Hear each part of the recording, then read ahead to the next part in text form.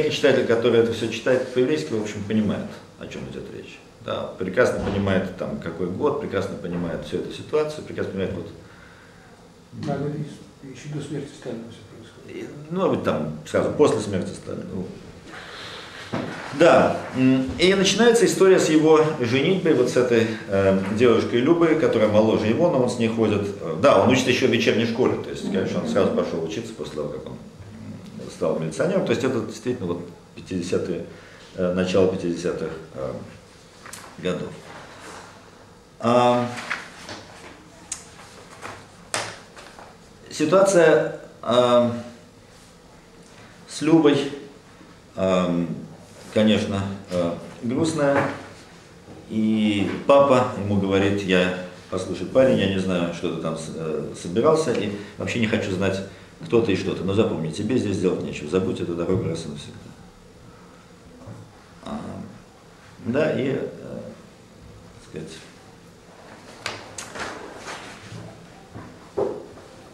это самое, э, Люба. Дальше он пытается, э, пытается предложить некие нововведения, пытается эту самую цыганию э, как-то усовершенствовать. Он видит, что люди все выбрасывают грязь на улице, да, это как бы тоже такой классический мотив э, еврейской литературы, поскольку такая скученность, никакой, конечно, э, там, организованной уборки мусора не предусмотрено. А на самом деле об этом он не пишет, но и канализации там нету. И не только нет канализации, но нету и туалетов на самом деле. В большом числе домов. Есть там какой-то один общественный туалет, а все остальное как бы происходит более-менее на улице. Ну, наверное, он как-то решил дальше уже не углубляться в подробности, хотя я думаю, человек, который это все знает, Можете себе представить. Там приходит комиссия, он пишет какую-то комиссию, пытается пробиться наверх, ну, будучи человеком, конечно, очень э, советским, ну, как бы верящим и хотящим верить в то, что советская власть действительно хочет, в конце концов, жизнь наладить, сделать жизнь лучше, он решает через голову как бы начальства обратиться к этой комиссии. Комиссия приходит, смотрит, пытается что-то сделать, ничего не делает. А от начальства он получает нагоняй, и опять же это его ставит на место. Опять же это вот, э, это вот его э, потолок. А, так, а, ну и что, собственно, происходит в конце?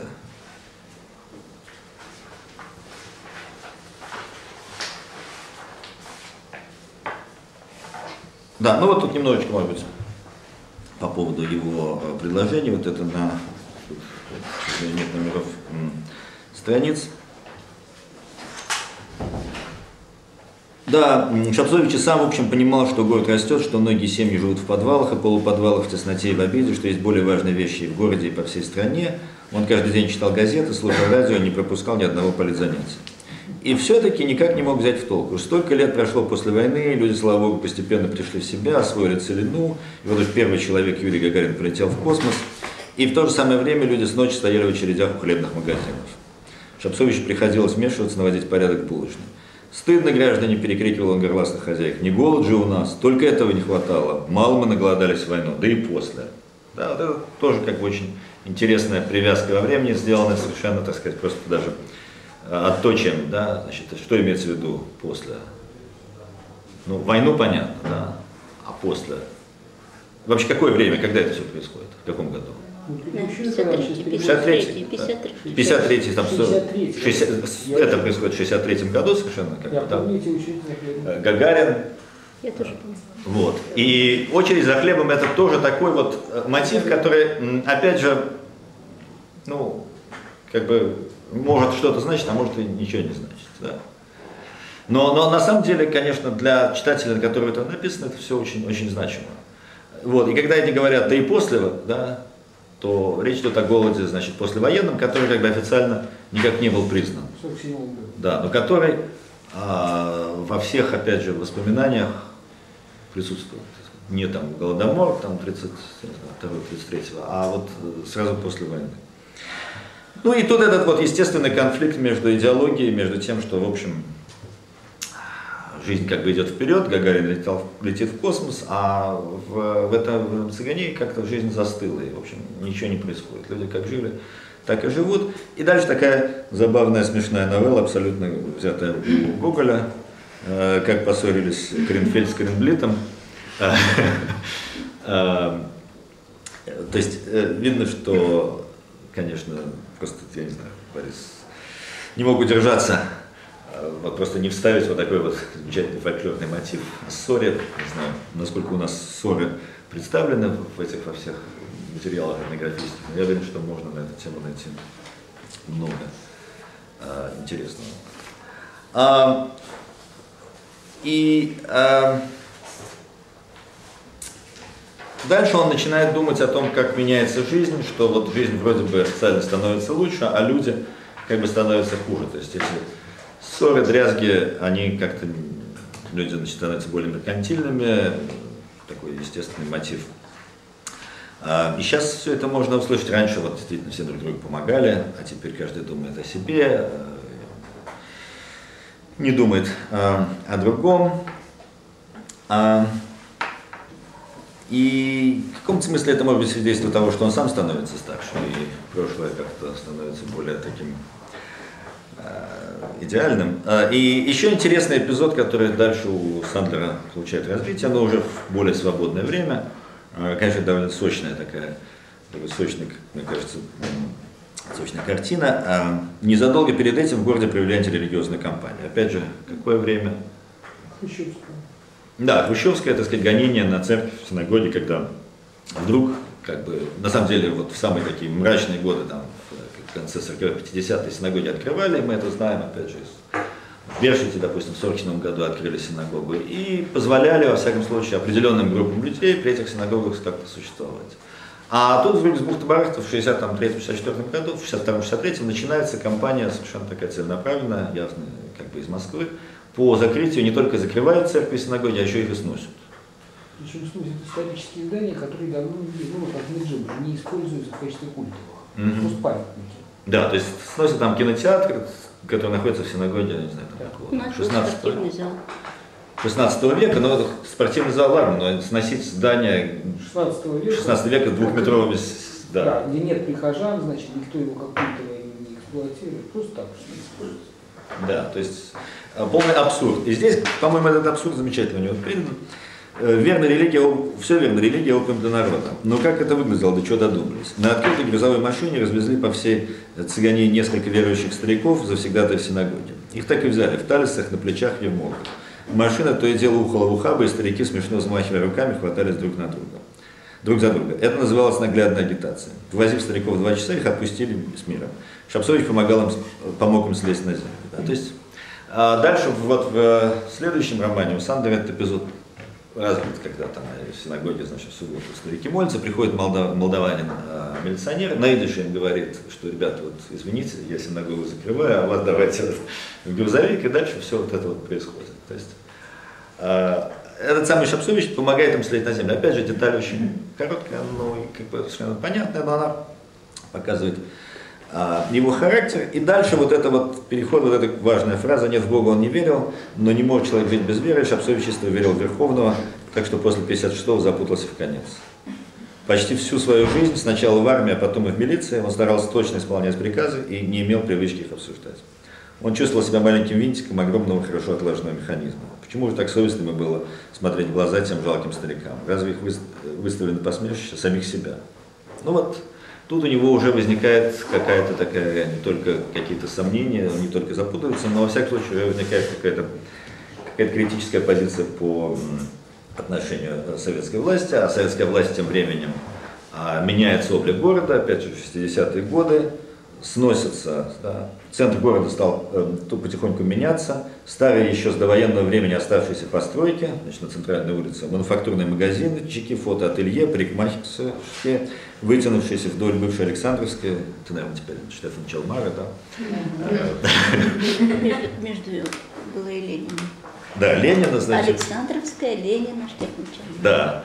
А, в один прекрасный день гуртом снесли, и все это место залили асфальтом. Абсолютно типичная как бы, ситуация для этих мест. А теперь город мог гордиться широкой пустынной площадью, где два раза в году, на 1 мая 7 ноября, проходили праздничные демонстрации, где под Новый год устанавливали здоровенный стол, весь в дырах от гвоздей и так далее. Значит, к нему приколачивали с- с- снизу вверх маленькие пушистые елочки. То есть делали такую довольно абсурдную елку, поскольку, в общем, я думаю, найти здесь большую такую вот елку, которую можно привезти и поставить на главную площадь, довольно трудно. Нет? Нет. Кодра у нас есть кодра. Все, хорошо, значит. Тогда были бы что приколачивать. А, да, но они, тем не менее, приказ. Дальше, вот это интересно. В будние дни площадь пустовала, но по субботам там устраивали гуляния.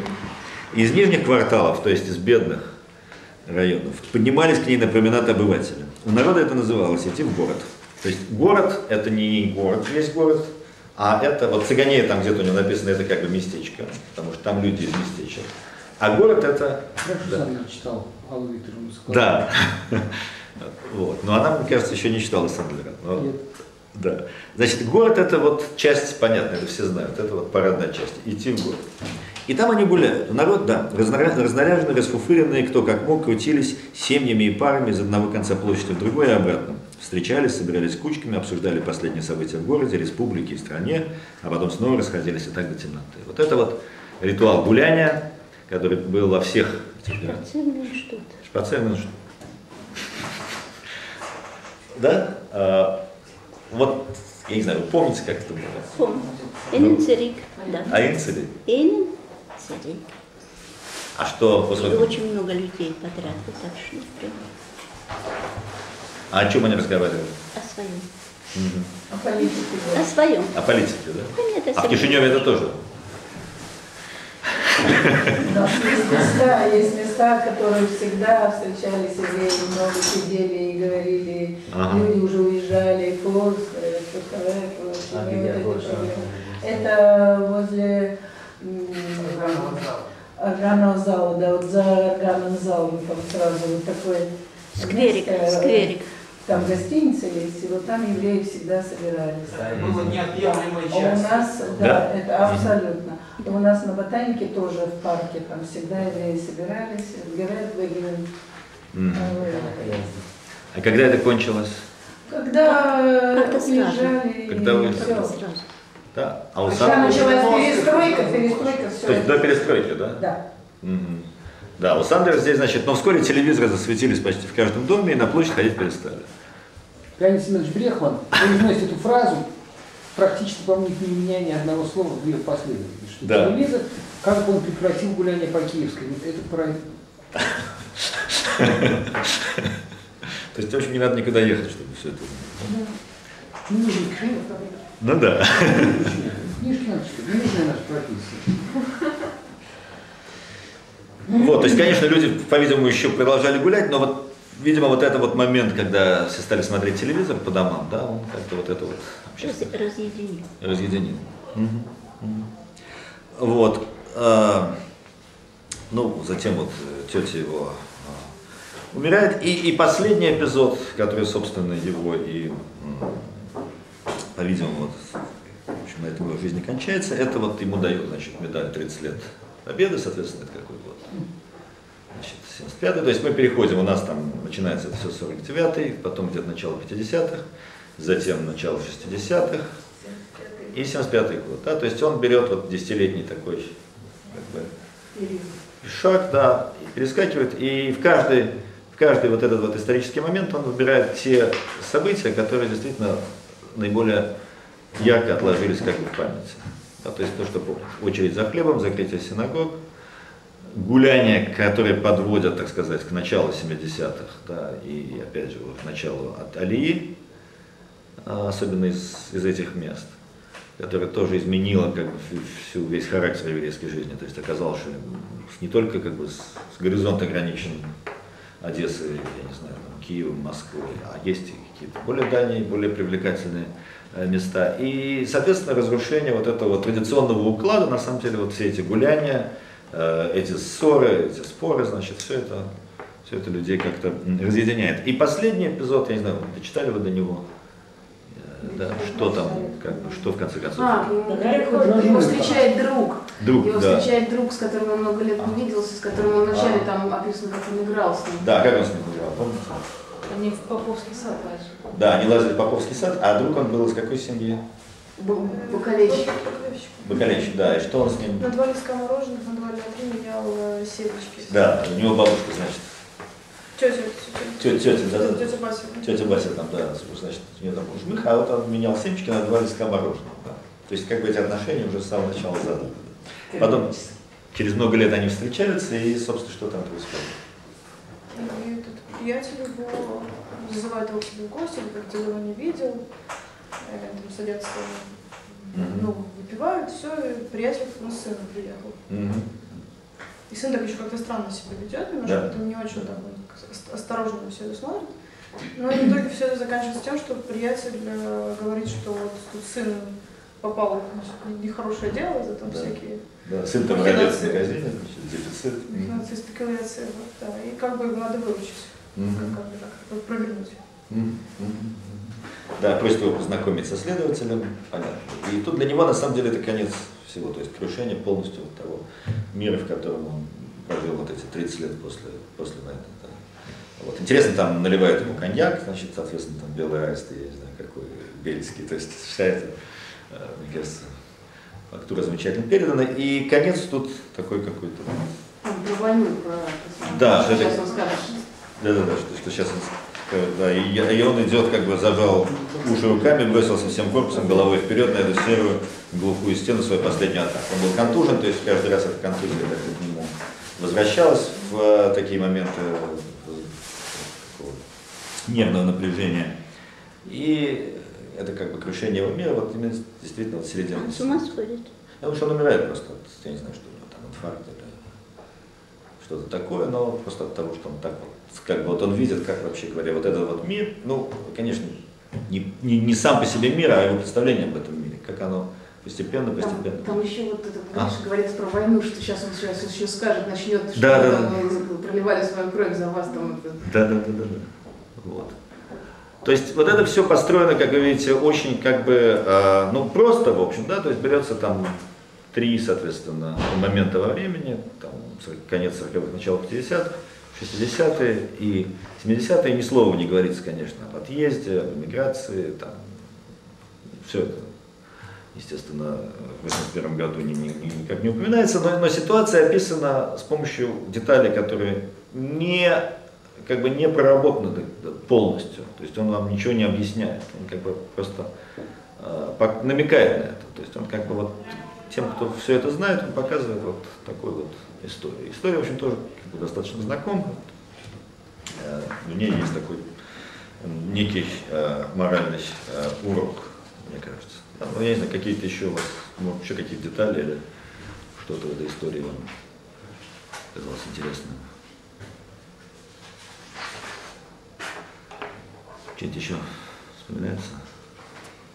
А вот эти шесть, которые там как бы фоном, они вот для чего как? Видишь? Ну, вот это вот это вот то, что он говорит, ты типа шестерка. Мгм, Да, Да, он-. А да. как на Эдиш есть как-то эта возможность? Вот я не знаю, как. К сожалению, я пошел в библиотеку взять книжку на Эдиш, но там она куда-то в отделе редких книг отправлена. Что? Я пошел в библиотеку сейчас, чтобы посмотреть на Эдише несколько У меня моментов. есть. Ну да, но я не успел, потому что я, мы долго ездили. Тут Свистнули, я бы принесла. Я думал, она там в отдел книг, а заведующий отделом Что был. конкретно вы хотели? Ну, этот рассказ что? вот, на. То есть там интересно посмотреть, конечно, как это сделано. Я думаю, что, конечно, на хотя перевод Бродского, мне кажется, очень как бы аккуратный, поскольку он, естественно, понимает, о чем идет речь, сам отсюда все это у него хорошо сделано. Но, но конечно, идиш тут А Сандрин по-русски не писал. Нет, по-моему, Я нет. помню, Ага. м, с первым рассказом пришел к Шрайберну Сандлер с русским рассказом. Мгм. И Шрайберн так прочитал. Видит, что это он рассказывал о своей бабушке, о своей атмосфере еврейской, местечко. И видит, что это еврейский парень. Мгм. Он говорит, слушай, зачем тебе писать по-русски? Тебя то, чего ты, о чем ты рассказываешь, и как я понимаю, откуда ты идешь, тебе не надо писать на русском. Надо Мгм. писать. А рассказ был достаточно примитивным, Мгм. хотя тема, тематика такая Мгм. еврейская. Он сказал, нет, это не нужно. Знаешь, вот, начинает, ты говоришь по-еврейски? Он говорит, да, и он стал, и он сам, и с- с ним сразу стал говорить по-еврейски. Мгм. Он говорит, все, надо уйти от этого. И вот есть э, в, этом в Тирасполе э, тоже Сандлер. Мгм.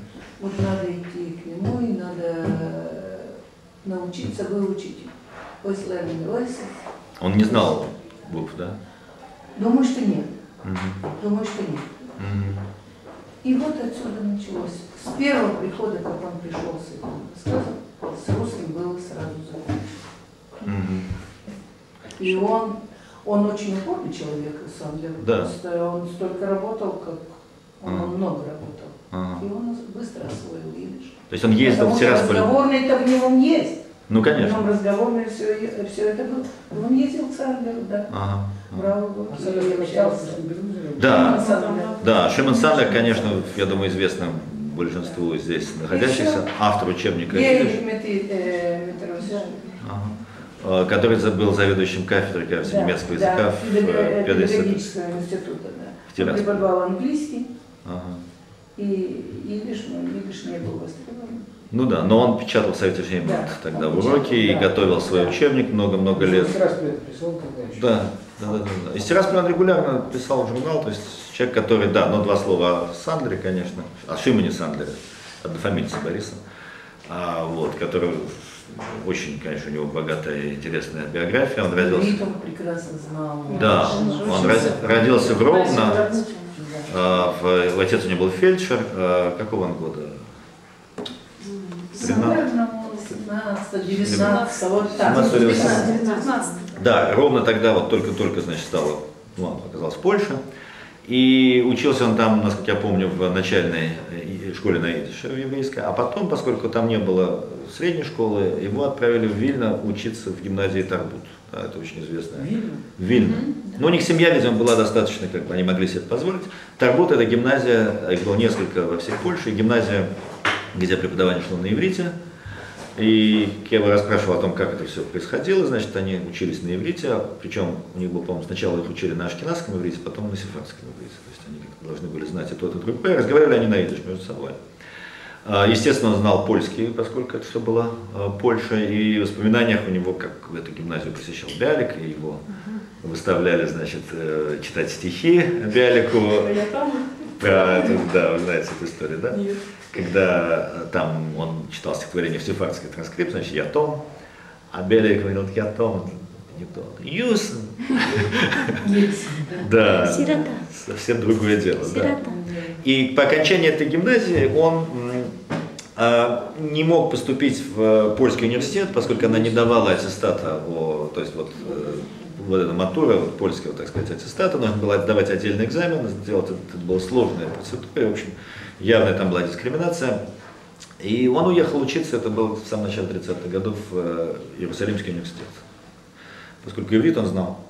Хорошо, начал учиться в Иерусалиме, но денег у него совсем не было, и поэтому учиться он быстро кончил и стал работать в Хайфе в э, портовым рабочим, а там он, соответственно, стал коммунистом. И э, его ан- британские власти выслали обратно в Польшу. Э, и там он работал в санатории Медом, знаменитым учителем уже идиша, поступил в 41 году, когда, соответственно, уже э, Польша стала советской, вот эта часть, он поступил в 41 году, когда в Вильно должно было открыться отделение, еврейское отделение, Прилуцкий там должен был его как бы им руководить. Он туда поступил, и на его счастье он уехал, я даже не знаю, куда он уехал, в, куда-то вот вглубь Советского Союза, то есть когда началась война, он был уже, Ну, Скажем, на Северскую конференцию. скажем, на Сеферской конференции. Да. Вот, во время войны он был в Удмуртии, как, поскольку он был польским гражданином, а после войны он там же остался и работал там преподавателем немецкого языка, который он выучил в Хайфе. Поскольку в Хайфе был большой немецкий квартал, и он действительно говорил совершенно свободно по-немецки. И там он написал диссертацию где-то вот в э, начале 50-х годов о методике преподавания идиш, э, немецкого, значит, в удмуртской среде, на, немецкий на удмуртский через русский. Вот такая хитрая методика, один язык через другой, через, а, на другой через третий. А, И советовал он там кафедры, насколько я понимаю, это самый немецкого или иностранных языков, а потом он переехал уже при пенсии как бы, в такие более теплые места, в Тирасполь. И э, вот во второй группе э, высших литературных курсов, где вот я учился, и он его Навигелис сумел привезти в Москву, жил, э, работал, выпустил там временный учебник, а затем он преподавал в ЛГГУ, где вот Маша сами, значит, у него учились до самой своей смерти, умер он за два дня, по-моему, или за день до выхода. До выхода второго учебника. Большой, да, переработанного учебника. Поскольку первый учебник, естественно, чтобы этот учебник вышел, он должен был перестраховаться, Да. и все тексты там были колхозы, трактора. Да, абсолютно. Да, Заводы, то есть заводы, да, он ни- никак, никак ничем рисковать не Да, хотел. и это э, ивритские слова все только в советской Да, да, да, да, да. Вот. И вот получается, что действительно, то есть два вот этих вот как бы полюса Шрайбман и Сандер, которые оба оказались в Молдавии. Сандер, в общем, довольно случайно, поскольку он никакого отношения к Молдавии по происхождению не имел, но вот так получилось, что он нашел эту работу в Тирасполе. Судьба его. Да, и вот из, из этого вот получилось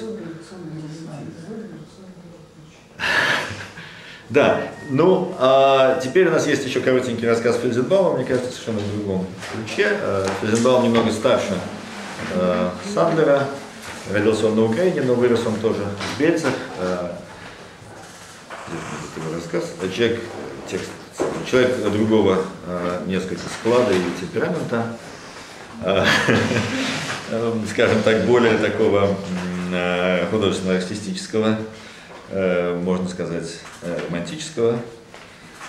Да? Э,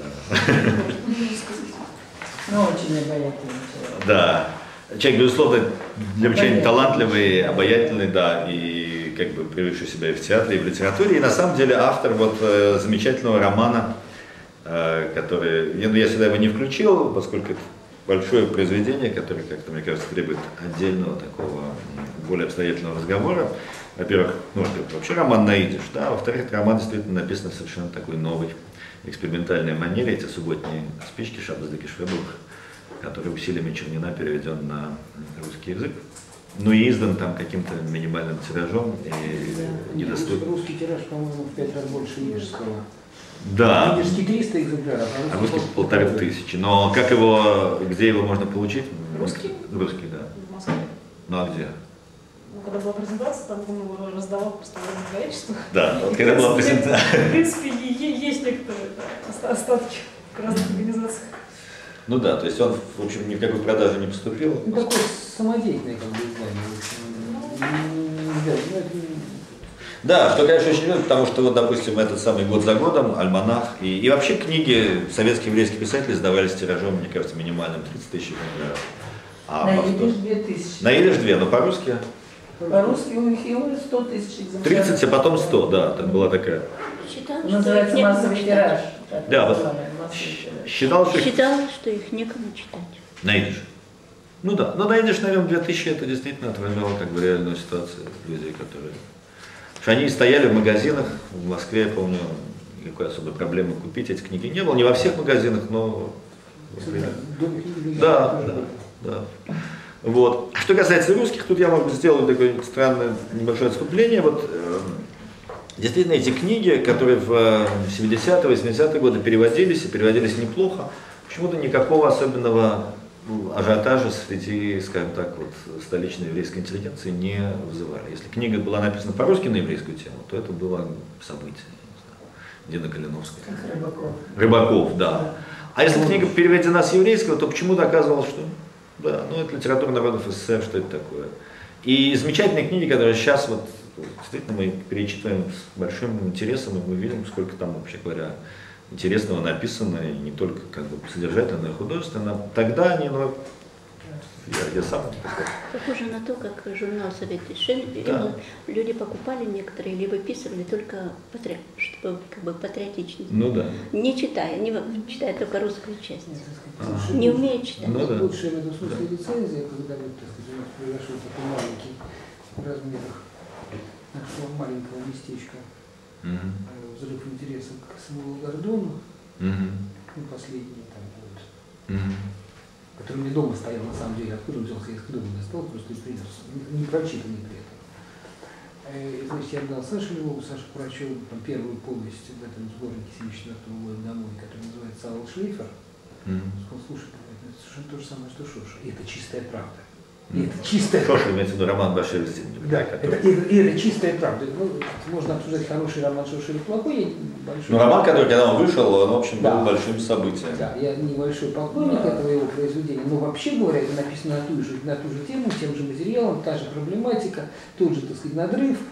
И вот, какая, да, кто читал Саула Шлифер Самуила Гордона в 1974 году, изданного тиражом 50 тысяч экземпляров, застрелиться таких тиражей теперь не бывает, как бы сказать, Да. никогда. Вот какая-то загадка природы. Да. Действительно. Вот. Да, ну и вот этот маленький рассказик Физенбаума, который, по счастью, у нас более-менее целиком тут скопирован, хотя без э, верхних.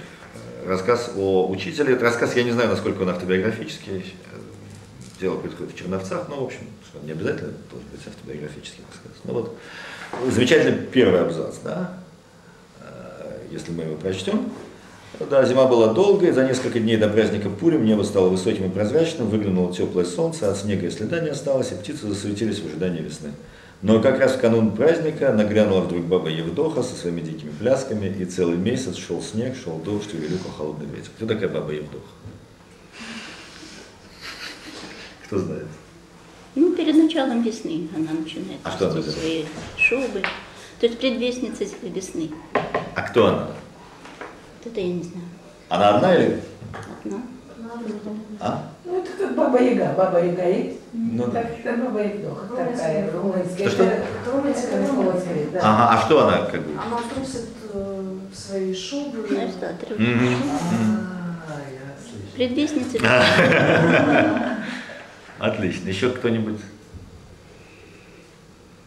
Ну, последние холода. Ага, да. И, а вот как с Пуримом она как-то связана? Параллельно. А, а почему она здесь с Пуримом? Что-что? Сегодня говорили. А, говорили. Как это у вас называется? Традиция. А почему она вот здесь? Потому что он из Молдовы. и это, Да, это понятно. Это все Потому что это нормально. примерно в это же время. Но вот с Пуримом есть какая-то у нее связь? Время совпадает. Ну, понятно, что время совпадает, так сказать, весна, э, как бы вот неустойчивая погода, когда действительно последние Ну, там может быть, какие-то... э, как э, карнавальный такой Ну да. образ. Может быть, и это... Ага, а что- сейчас, еще Нет, это стар- старость. Эстер старость. Да, ну, Маш, ну надо все-таки сказать.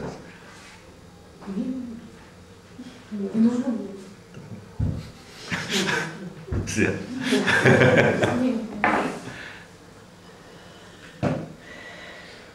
Ну, расскажите, расскажите. Да, ну вот э, когда мы... э, Замечательно. Когда мы, значит, спрашиваем, то это очень частый мотив, действительно, вот эта мифология, не только румынская, то есть и на Украине это, этот персонаж присутствует, действительно, она трясет свои там какие-то одежды, юбки, из-за этого вот сыпется все это с неба труха, но еще она, значит, крутит с Хаманом.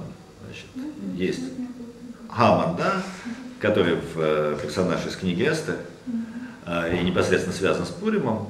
А, Вот. И у нее с ним какая-то там, какая-то такая странная, значит, любовь, не любовь. Во всяком случае, вот именно все это сыпется не просто то, что она одна, а потому что она с Гамоном как-то вот там крутит. Это очень интересная как бы встреча двух совершенно разных мифологических персонажей, когда Гамон и Евдоха начинают там крутить какую-то любовь. Это то, что Маша рассказала Да, да. сегодня. Вот, то есть, наверное, она присутствует и отдельно, но вот, в- вот в Спуримом, конечно, это она, Гамон он тут, я не знаю, почему-то не вставил, Неожиданно. не обозначил. Значит, в бессарабской традиции чем подобное. Может быть, но опять же, как бы вот эта вот отсылка к, э, вот к этой вот народной, естественно, вот южной украинской бессарабской, я не знаю, насколько она присутствует в Литве, но там, в общем-то, и погода другая. То есть, это время Там в это время- На лыжах кататься надо. да, Там время прихода весны другое. да, да, да, да. Вот. И дальше здесь, значит, э, речь идет о об его э, учителе. То есть здесь, конечно, тема совсем другая, тема как бы такая личная. Это вот эта вот тема преемственности, каким образом, собственно, вот это вот знание и э, передается. То есть человек, который э, до войны закончил гимназию, Ешиву, и кто, кроме того, семинарию, учительскую семинарию, э, знал еврейскую литературу, э, ее любил, э, жил э, бедно, там замечательная история про то, как вот он значит, женился на этой Шурочке, которая у него отняла квартиру, а потом повесилась. А, И затем он вернулся в Черновцы, и там вот он живет таким вот одиноким а, интеллигентом, и а, ему, на самом деле, ему не хватает кого-то, как, кого он мог взять себе ученики, то есть продолжить вот эту вот традицию, человек, который получил а, образование учителя и не в состоянии учить. Я думаю, что здесь Розенбаум, конечно, понятно, что здесь как бы вот эта вот проблема преемственности, проблема обучения, да, как бы получения вот этих знаний, она здесь на самом деле так или иначе обыгрывается. То есть то, чего не было, не было в советской системе, допустим, литература была, там даже театр какой-то был, а, а, а, образования а, не было. Ну и а, даже я не знаю, что здесь, а, может быть, интересно, если вам что-то здесь такое бросилось глаза. Опять же, человек этот умирает, а, умирает он прямо перед Пейсахом, значит, между Пурим и Пейсахом, вот это время какой-то неустойчивости, время, так сказать, прихода весны, но время непонятного а, какого-то такого промежуточного. Шалом алейхим. Алейхим шалом. О, шалом алейхим. Ja, ich habe echt noch gewusst, als ich hier da, jeder hat mir nicht gesagt, ich habe gewöhnt, nicht entschuldigt mich. Ich habe gewöhnt, ich habe gewöhnt, nicht in unserer Zeitung, Deutsch.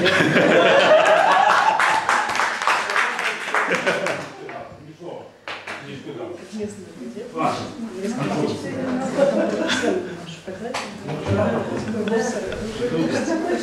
Ну, Серега Моисеевич мы тоже вчера узнали. Мы только вчера и начали, мы до этого ездили. Они же... Вчера я была на месте, сегодня. Повтори, блин. Я на воскресенье узнала, надо тоже была. И мне сказали, что господин Да? И вот эта вот неустойчивая погода, когда еще как бы уже тепло, а еще такая какая-то может перемена наступить, могут там дожди пойти в э, советской, как бы, скажем так, э, культуре.